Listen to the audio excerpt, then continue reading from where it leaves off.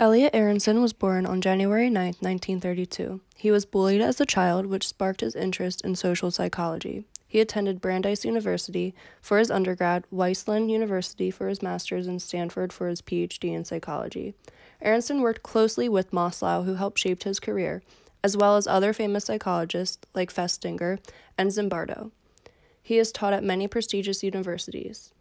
Now, Aronson is blind, but doesn't let that stop him from working in his field of research. The American Psychological Foundation claims Aronson studied a wide range of topics regarding social psychology, such as social influence, prejudice reduction, cognitive dissonance, human behavior, and personality. Later on in his life, he went to intern at National Training Laboratories to study strategies of empirical learning.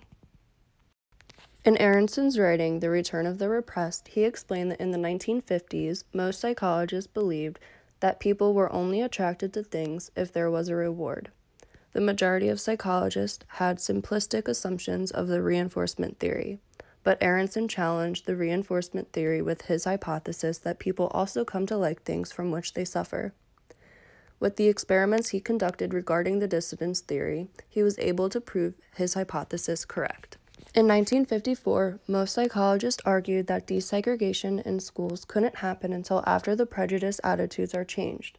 But Aronson argued in order to change prejudiced attitudes is to desegregate. He used the dissonance theory to prove a more powerful way is to change behavior first and attitudes will follow. In 1999, the American Psychological Foundation stated that Aronson's strong implications of the dissonance theory generated extensive research helping shape our basic knowledge of social behavior. According to Pettigrew in 2010, Elliot Aronson is most famous for creating a method called the jigsaw classroom, which is one of the most widely adopted and effective social psychological interventions ever advanced. And here's how it works. So let's say you have a classroom of 25 students, and that day they learned about five different ways to reduce anxiety. The teacher divides the class into five expert groups. Each group is made to study a specific way to reduce anxiety represented by each color. Students learn, rehearse, and know the specific material to a point where they can teach it to other kids.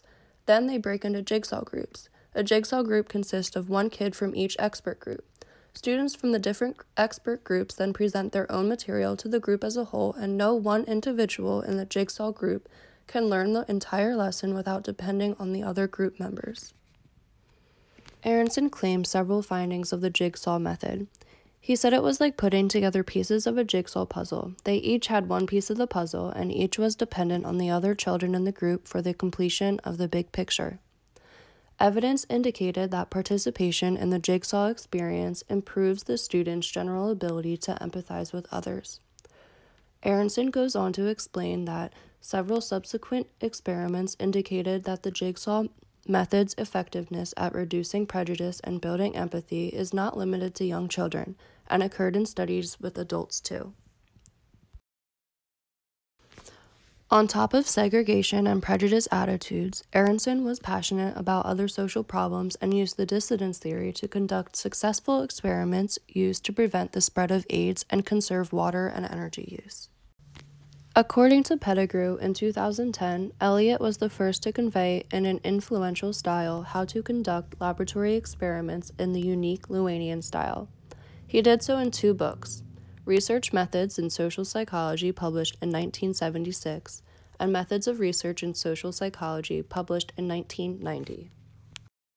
The American Psychological Foundation stated that Aronson had a gift for discovering the psychological truths, then applying his findings to improve life in important ways. Students and colleagues consider Aronson to be charismatic, sophisticated, and intellectually powerful. According to the American Psychological Foundation, his PhD students are among the most creative and productive researchers in the field.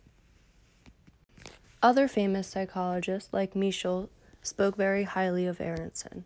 In 2010, Mischel stated that Elliot began his career by doing some of the most elegant and significant experiments in social psychology. Mischel went on to explain that this gave the dissonance theory its sharpest teeth. Finally, Mischel stated that the dissonance theory showed how far Aronson's experiments could take social psychology.